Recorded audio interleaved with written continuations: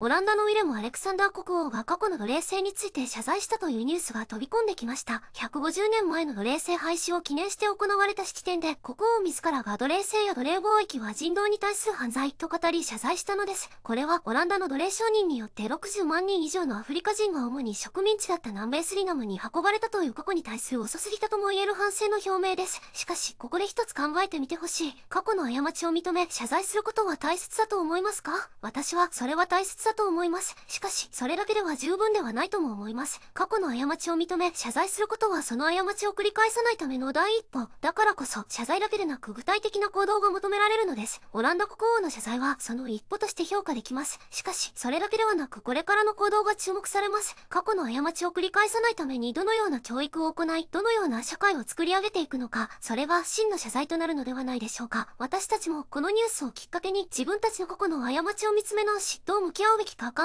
えてみてはいかがでしょうかそれはこのニュースから得られる教訓だと私は思います